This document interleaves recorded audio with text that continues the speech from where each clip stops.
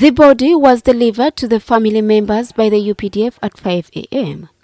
The UPDF fraternity took full charge of the burial arrangements.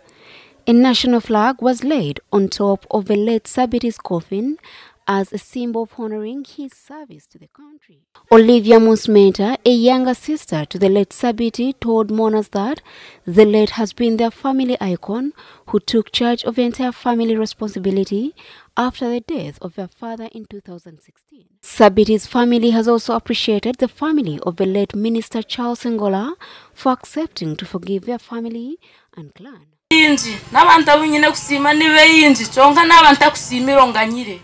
Yinji n'abantu abo nyine kusima nibe yinji kyonka n'abantu akusimira onganyire Whatever happened was very unfortunate, but we humbly appreciate the family. of the late Minister Engola for accepting to forgive us as a family and clan as a whole. Our appreciation also goes to the President of Uganda and the leadership of the army for accepting to bring the body of the late Private Sabiti for according him a decent final send-off.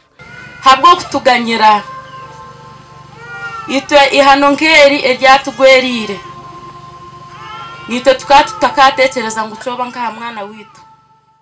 During the funeral service, the church members did not wear their clerical robes due to the fact that Sabit ended his own life, which is contrary to the biblical teachings.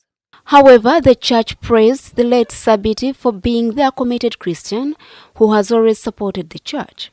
The leadership of Unsoro Church of Uganda particularly praised the late Sabiti for buying a music system for the church.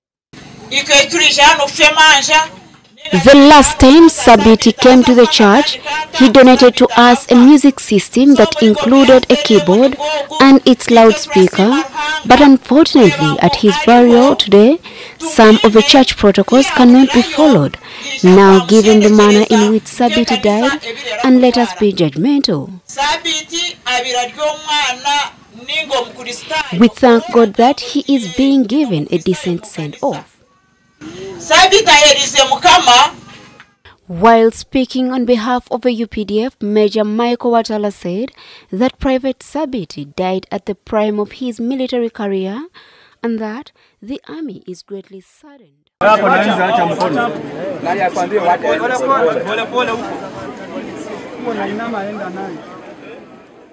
the army and his country.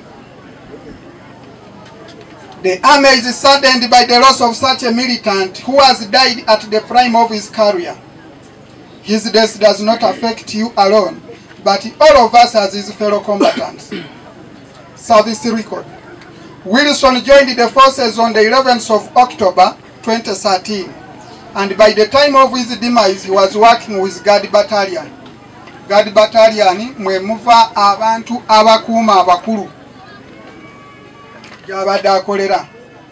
Family matters. According to our records, the late is survived by two wives. According to Major Watala, the military will ensure that the late Sabiti's pension and gratuity are received by the family. During the burial, Private Sabiti was accorded a three gun salute. Story by Roger Sandy. For